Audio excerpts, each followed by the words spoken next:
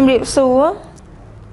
បងប្អូនជនរួមជាជាទីគោរពថ្ងៃនេះគឺជាថ្ងៃប្រហ័ស800ថ្ងៃសិលខែអាសត់ឆ្នាំមមីឆស័កពុទ្ធសករាជ2558ត្រូវនៅថ្ងៃទី16ខែតុលាគ្រិស្តសករាជ2014នៅពេលនេះសូមអញ្ជើញបងប្អូនជនរួមជាតិតាមដានទស្សនាព័ត៌មានសង្ខេបនៅថ្ងៃនេះដូចតទៅពលរដ្ឋរងគ្រោះចំនួនដីធ្លីមកពីខេត្តព្រះវិហារដើរដាក់ញត្តិស្វែងរកអន្តរាគមន៍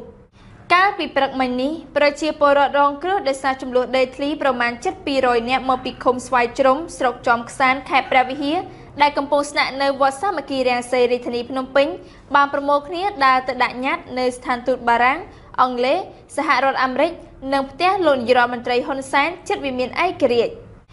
នៅអំឡុងម៉ោង8ព្រឹកក្រុមជនរងគ្រោះដោយសារចំនួនដីធ្លីទាំងនេះបានដើរដង្ហែញ៉ាត់ឆ្ពោះទៅកាន់ស្ថានទូតបារាំងអង់គ្លេសនិងសហរដ្ឋអាមេរិក ភ្ជាប់ដល់ការស្រ័យទាមទារដំណោះស្រាយនិងបង្ហាញអំពីការឈឺចាប់បន្ទាប់ពីផ្ទះសម្បែងរបស់ពួកគាត់ត្រូវក្រុមអ្នកមានអំណាចរបស់ខេត្តព្រះវិហារឈូសឆាយអស់ដើម្បីយកដីគាត់មិនរកចិត្តទេចាំឲ្យខ្ញុំវិញចិត្តស្លាប់ខ្ញុំមិនចាប់មិនស្ដាយទេជីវិតខ្ញុំ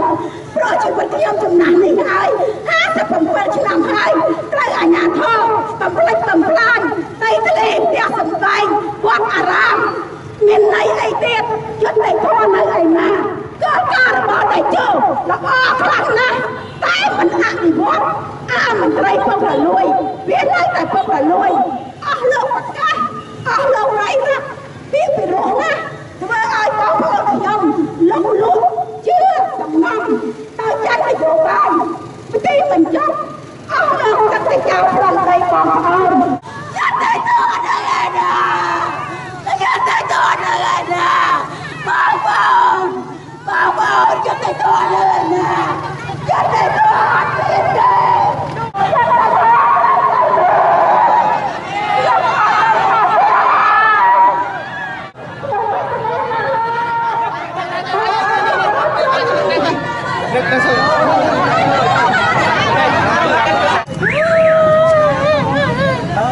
កូនចៅគ្មានទេសំបាយនៅទេចំណែកកូនសាជួយមើលកូនចៅផង លោកមានផ្ទះនៅទេលោកគ្មានផ្ទះមានស្អីនៅទេសូមអស់លោករដ្ឋាភិបាលទាំងអស់ជួយដោះស្រាយកូនចាក់បងប្អូនខ្ញុំមកពីខេត្តព្រះវិហារផង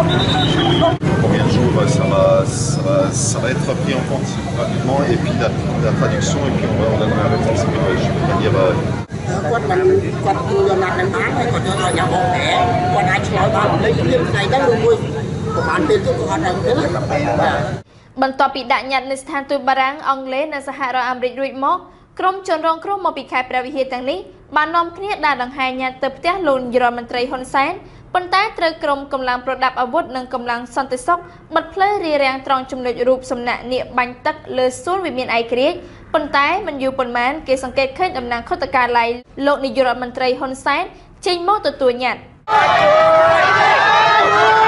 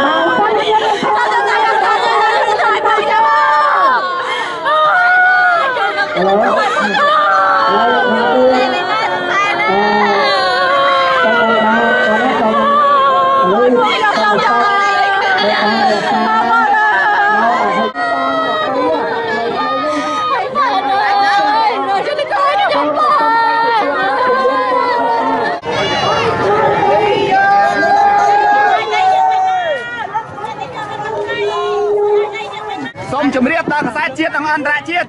លើកនេះសូមឲ្យលោកយកទៅដោះស្រាយសូមកុំយកទៅបោះចោលព្រោះលោកយកទៅច្រើនទៅហើយសូមកសែតជួយធ្វើសារស្អី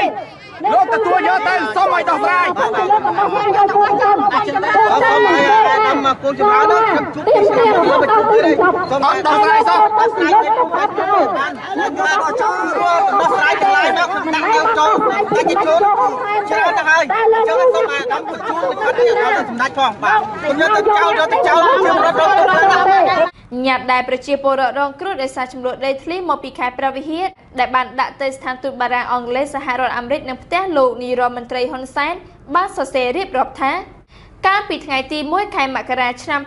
2012លោកសួយារ៉ាជាអនុរដ្ឋលេខាធិការទីស្តីការគណៈរដ្ឋមន្ត្រី ត្រូវជាក្មួយលោកសុកអានរដ្ឋមន្ត្រីទទួលបន្ទុកទីស្តីការគណៈរដ្ឋមន្ត្រីដែលបច្ចុប្បន្នលោកសួយារ៉ាជាតំណាងរាស្ត្រគណៈបកប្រជាជនកម្ពុជាខេត្តព្រះវិហារបានសំគំនិតជាមួយលោកជ័យភឿនប្រធានអាជ្ញាធរជាព្រះវិហារខົບខិតគ្នាជាមួយអាជ្ញាធរខេត្តនាំយកកងកម្លាំងប្រដាប់អាវុធនិងគ្រឿងចាក់ទៅឈូសឆាយរុះរើវាយកំទេចផ្ទះសម្បែងសាលារៀនមន្ទីរពេទ្យវត្តអារាម ហើយបណ្ដេញប្រជាពលរដ្ឋនិងព្រះសង្ឃទាំងបង្ខំឲ្យចាកចេញពីភូមិនេះ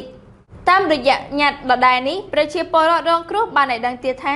លោកសូយ៉ារ៉ាបានធ្វើរបាយការណ៍បំភាន់ភ្នែកមន្ត្រីថ្នាក់លើជាពិសេសបំភាន់ភ្នែកលោកនាយរដ្ឋមន្ត្រីហ៊ុនសែនដែលអះអាងថាប្រជាពលរដ្ឋស្ម័គ្រចិត្តស្នើសុំអាជ្ញាធររួចរើផ្ទះសម្បែងហើយចាកចេញពីភូមិនេះដោយភ័យខ្លាចសង្គ្រាមប៉ះទង្គិចជាមួយទីហ៊ានសៀម